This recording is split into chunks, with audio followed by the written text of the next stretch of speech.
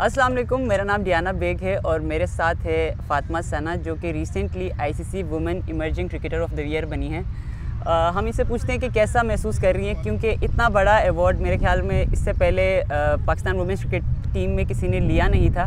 तो कैसा फ़ील हो रहा है और क्या फ़ील कर रही हैं बताएँ ज़रा। जी सबसे पहले तो अल्हम्दुलिल्लाह और काफ़ी एक्साइटेड हूँ इस चीज़ पे और जिस तरह अवार्ड मिला और सब कुछ हुआ तो आई थिंक सो इसका क्रेडिट मेरी टीम को ही जाता है और मैनेजमेंट को जिन्होंने मुझे थ्रू आउट सपोर्ट किया। ये हम सब के लिए बहुत ऑनर की बात है कि हमारी एक टीममेट को ये एजाज़ मिला है और हम हम सब बहुत खुश हैं इस चीज़ को लेके। अच्छा ये बताएँ कि अभी पास्ट जब वेस्ट इंडीज़ आई थी इससे पहले, जो रिसेंट आई, उससे पहले जब आई थी तो आप एज अ नेट बॉलर आप खेली थी वहाँ पे।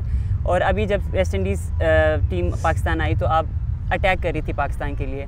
तो कैसी आपकी ये जर्नी थी और मतलब किस तरह आपने इतना जल्दी टीम में अपनी जगह बना ली? आप अभी 20 साल की हैं और बड़ी ज़बरदस्त परफॉर्म कर रही हैं। आप कुछ बताएँ ज़रा। जी सबसे पहले तो अलहमदिल्ला के एज ए नेट बॉलर मैं वेस्ट इंडीज़ की टीम से गई खेलने और जिस तरह मुझे वहाँ पे मतलब गाइडेंस मिली उन, उस टीम को बॉलिंग करा के तो मुझे यही था कि अब मुझे थोड़ा आइडिया हो रहा है कि बाहर के प्लेयर्स कैसे होते हैं। तो बस यही था कि जिस तरह वो लोग खेल रहे हैं, सब कुछ कर रहे हैं तो उसको मैं ज़्यादा से ज़्यादा जज करूँ। और फिर मेरे अंदर यही आया कि जिस तरह वो प्रैक्टिस करते हैं सब कुछ तो उस तरह मैं उनसे लर्न करूँ ज़्यादा से ज़्यादा। फिर जब मुझे चांस मिला खेलने का तो अलहमदिल्ला मुझसे परफॉर्म हुआ। और फिर यही था कि उसी को लेके आगे कंटिन्यू करूँ। फातमा, आपने इतनी यंग एज में सब कुछ अचीव किया है, क्या आप सेटिस्फाई हो इस इन सब अचीवमेंट से? आ, नहीं ऑब्वियसली बात है लाइफ में चीज़ें आती हैं लेकिन सेटिस्फेक्शन तो यही होता है कि उससे सीखें और आगे बढ़ें। और अभी आगे इंटरनेशनल क्रिकेट बहुत ज़्यादा है तो बस यही है कि इससे एक मोमेंटम लूँ और एक कॉन्फिडेंस लेके आगे जो मतलब अब मैं नेट्स करूँ उसमें मैं ज़्यादा से ज़्यादा सीखूँ और कंसिस्टेंट रहने की कोशिश करूँ।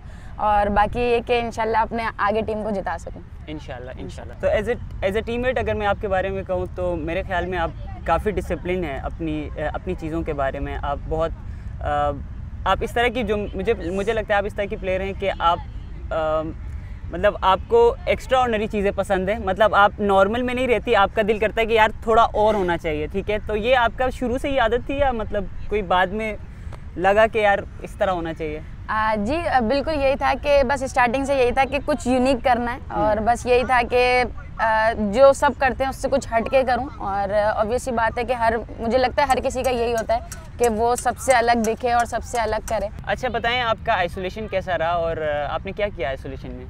आ, अभी तो आइसोलेशन में यही है पीएसएल के मैचेस इतने अच्छे हो रहे हैं तो बस उससे उन्हीं को देख के लर्निंग प्रोसेस चल रहा है उन्हीं को देख देख के बस सीख रहे हैं और बाकी नेटफ्लिक्स जिंदाबाद। आपने क्या किया? मैंने मैं मैंने बस मैंने थोड़े थोड़े पी एस एल के मैचेस देखे और बाकी नेटफ्लिक्स जिंदाबाद। यही किया बस। अच्छा चलें थैंक यू सो मच आपने हमसे बात की और आपने हमें अपना टाइम दिया और अब अब हम लोग जा रहे हैं अपने सेशन की तरफ़ क्योंकि टाइम हो गया है। Thank you so much thank you